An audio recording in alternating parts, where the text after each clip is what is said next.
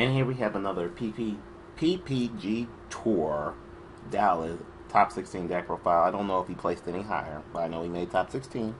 And this player is playing Prank Kids. I personally do not know nothing about Prank Kids. I never read them when the set came out for Prank Kids. All I know is that they are fusion summon link mechanic monsters. That's it. So let's take a look.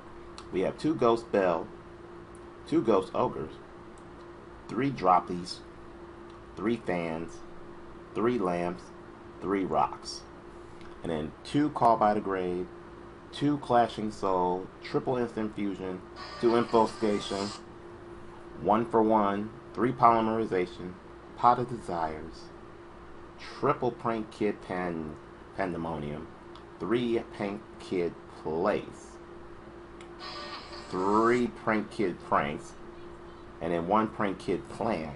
I'm getting text messages all over. And then we have for the lovely side deck, you have three Phantasmes, three Kaijus, three Triple Twin Twisters, uh, Prank Kid Plan, two Red Reboot, Skill Drain, that's a card you haven't seen in a while, and two. There can only be one.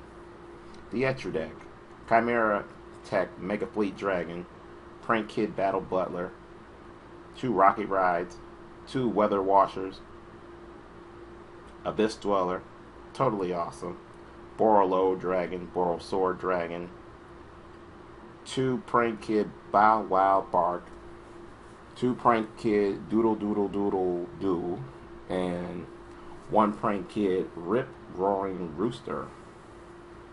So this is the Prank Kid deck. I, like I said, I have no personal experience with Prank Kids. I don't even think I even played against a Prank Kid before. But let me know in the comments below what you guys think. That's all that matters. Remember, hit the notification bell, like this video, and support my resurrection back into Yugi tubing. Hopefully I can get back in there. So I'll see you guys later.